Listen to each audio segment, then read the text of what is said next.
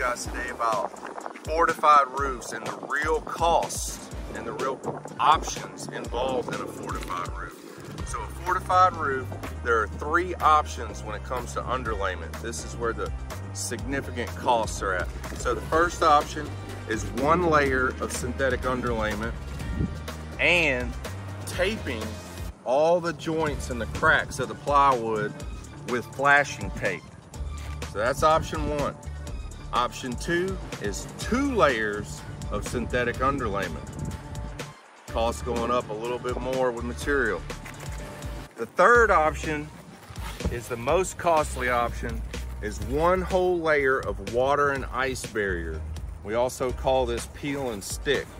It has a peel off layer, sticks to the roof. Water and ice barrier, third and most expensive option for the fortified roof.